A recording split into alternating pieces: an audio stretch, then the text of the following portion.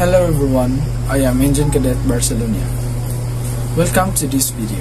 In this video, we will talk about boiler systems. So, boiler is a pressure vessel that is used to generate steam to provide heating to the main diesel engine propulsion to the bunker fuel oil. Boiler has three different systems. The fuel oil system, the feed water system, and the steam service system. We will do diagram tracing in order to deeply understand the process of uh, generating steam by the use of boiler. We have here the fuel oil system diagram. Marine boilers burn residual low-grade fuels.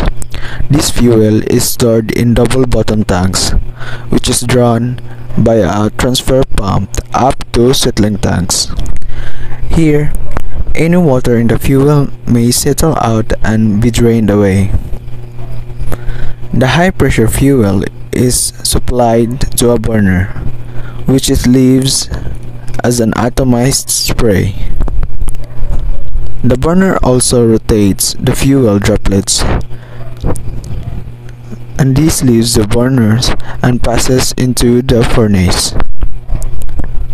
The oil from settling tank is filtered and pumped to a heater and then through a fine filter. Heating the oil reduces its viscosity and makes it easier to pump and filter. This heating must be carefully controlled or otherwise cracking or breakdown of fuel may take place. And now, let's do the diagram tracing. This fuel oil system diagram that I am presenting is my laboratory output and it seemed to be complicated. So let's draw a simplified fuel oil system diagram.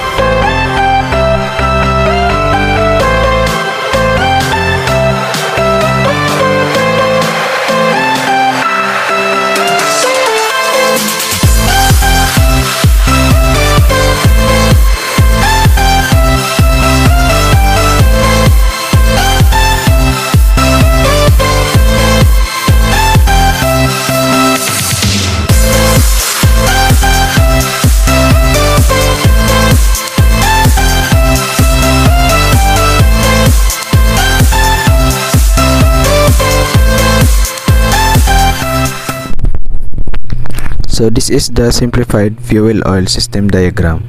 We have here the fuel oil tank. Fuel oil tank serves as storage of the fuel oil. And we have here the fuel oil service pump. Fuel oil service pump is responsible for pumping out the fuel oil. And the fuel will flow through the pipe to the flow meter. And the purpose of flow meter is to measure the fuel consumption. And after the measuring of fuel consumption the fuel will proceed to the electric heater. The purpose of electric heater is for heating the fuel oil before it enters the boiler. So in this diagram it shows here that we have the a common line to the return line. These two valves is the solenoid valve and the relief valve. So mainly we use the solenoid valve in relieving the excess pressure. And in case of emergency the solenoid valve is damaged. We have the backup valve here the relief valve. In case of emergency the solenoid valve is damaged. We have the backup valve here also known as the relief valve. Relief valve also helps to relieve excess pressure return to the fuel oil tank. And we have here the return fuel oil pipe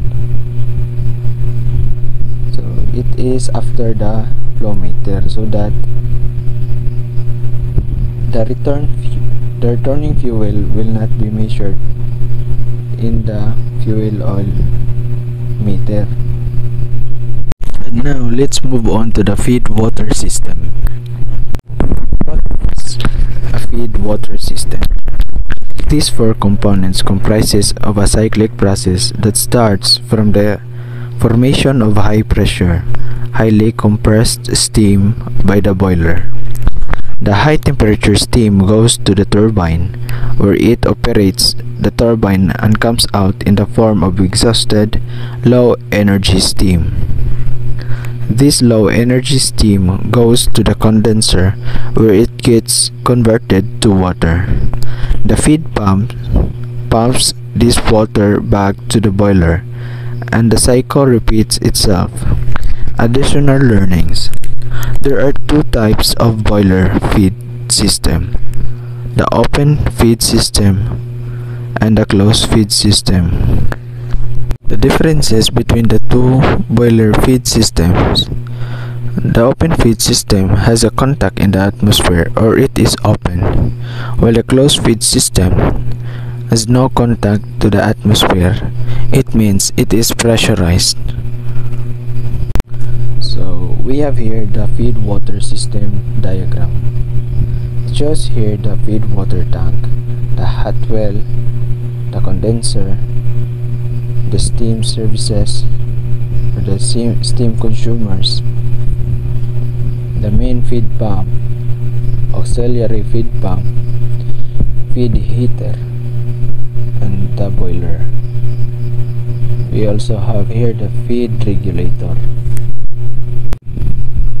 Let us start here in feed water tank. So the main feed pump will pump out the liquid and the liquid will flow through the pipe and proceed to the feed heater. So the purpose of feed heater is for heating the feed water before it enters the boiler to minimize the fuel oil consumption we have here the auxiliary feed pump this serves as a backup pump in case of emergency. The main feed pump is having trouble. You can automatically close or shut off this valve, this pump, and use the auxiliary feed pump to continue the process of generating steam. And here in the boiler, after heating the feed water it generates steam. So we have here the main steam valve. And this is the main steam pipeline which is connected to the steam services or the steam consumers. We have fuel oil heating diesel engine heating and uh, steam turbine and etc so after the steam consumers we have a return line that is connected to the condenser. So the purpose of the condenser is to convert the low pressure steam into water and after the low pressure steam is converted into water the water will proceed to the hot well.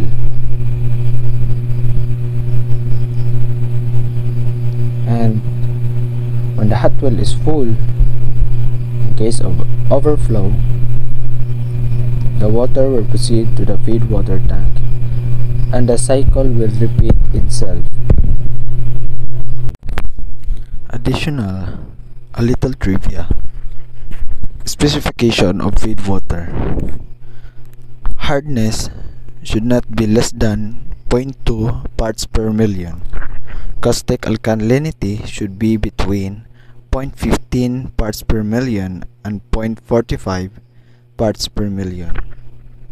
Soda alkalinity should be between 0.45 to 1 parts per million. And the feed water should be free from turbidity, sediments, organic matter, oil, and grease. We have here the steam system diagram. I already discussed how the boiler generates steam and its process or the flow of the steam into the steam services or the consumers and back to the condenser and return to the feed water tank. Here we have the boiler. After the boiler generates steam, the steam generated will proceed to the steam mainline. So the impurities of steam will be trapped here in the condensate drainage system. Superheated steam will proceed in the, the steam line. We have here the vacuum steam or also known as the saturated steam. We have here also the condensate drainage system. It is all connected to the condensate and return to the feed water tank is pumped out and returned to the boiler. So